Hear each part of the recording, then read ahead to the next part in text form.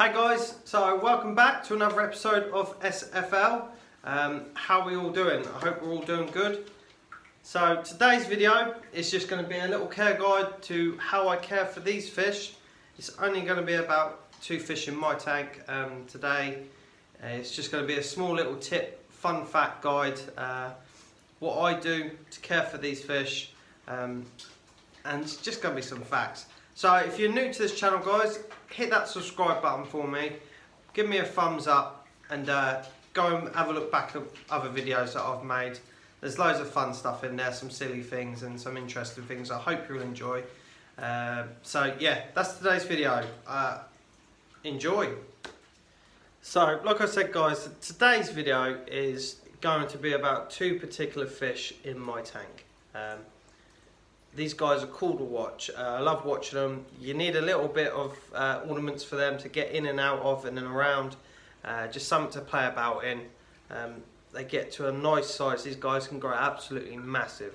So you need a big tank. You're going to need something at least four foot for these guys. Uh, you can't have a tiny little tank to put them in because they're not going to last in there.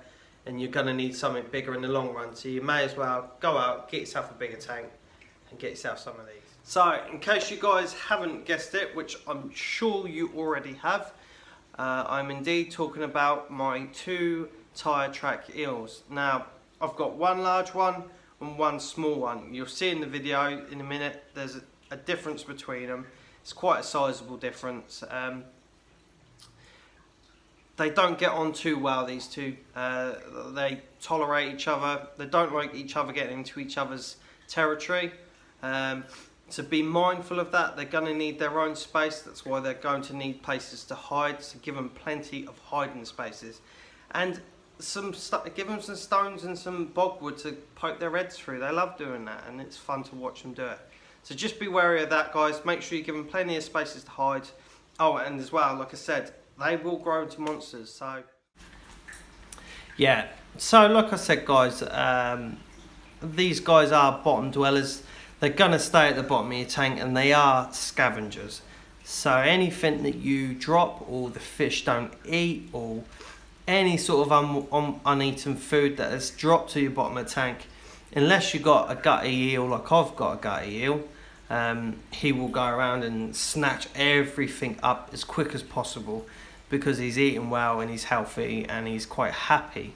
Um, but they, they're not too fussy once they are eating given like I said, they need lots of hiding spaces. These guys are very, very susceptible to catching all sorts of diseases, um, and they're not particularly the easiest to, to cure uh, if they do catch anything. So just keep that in mind. You don't want to um, add one of these fish into your tank. Uh, they get too stressed out because there's nowhere for them to feel safe. They get some sort of disease, and then possibly wipe out your tank. That's not what you want. So, simple thing, give them lots of room to hide.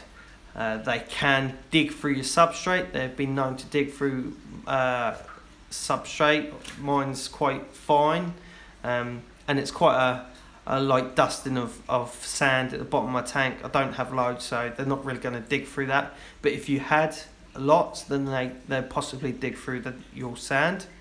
Um, so, in in the wild, these guys uh, are known to eat. They'll forage for insects. They'll get the insect larvae. Uh, they can eat earthworms, uh, blackworms, and a lot of submergible plants. Um, they're not going to eat my plants, obviously, because they're plastic, which is quite nice. Uh, it doesn't look the best, to be fair, but it's plastic and they're not going to get eaten, which is good for me. Um, but in your aquarium, I've got prawns. They're eating them prawns at the minute. The reason for the prawns in the bottle is uh, is for the little eel. Um, my large one is quite gutty nearly everything, like I said, pretty quick. Um, so I've got a bottle with a smaller um, end. So the large tyre track eel can't fit in, but the smaller one will. The only problem with this is the small eel can't figure this out. Um, the large one has, has put his head in. and he's realised he could get in there. Um, but the small one, small tyre track, he'll still haven't quite figured that out, obviously. But once the lights are off, he'll he'll give it more of a sniff around, and he'll probably find his way in there and out, um, which is what I want. I want the small one to eat a bit more food, um, to to size him up a bit more.